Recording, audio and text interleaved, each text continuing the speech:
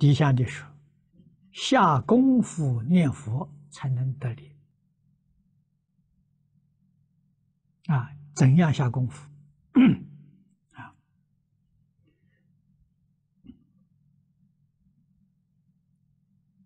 那你先要把至少把《弥陀经》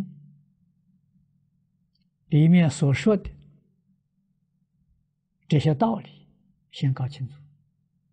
啊，但是看《弥陀经》不行，你要看《弥陀要解》，看《弥陀疏钞》。啊，莲池大师的、藕益大师的著作，啊，真正看懂了，你就晓得怎样念佛，功夫就得力。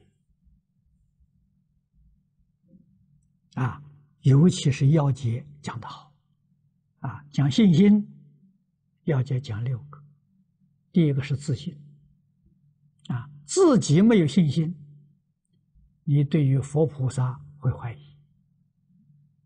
啊，对于这个法门会怀疑，对它的效果也会怀疑，那个得力就难了，啊，所以头一个要相信自己，啊，相信自己，相信自己是佛，一切众生本来是佛，这是第一个要建立的，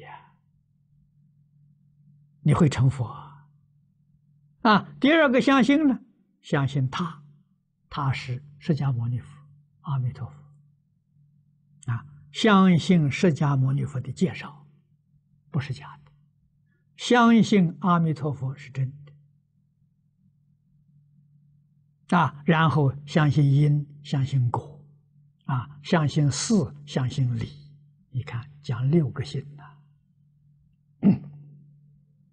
啊，你的功夫。就会得力了，啊，有信有愿，行就是一向专念，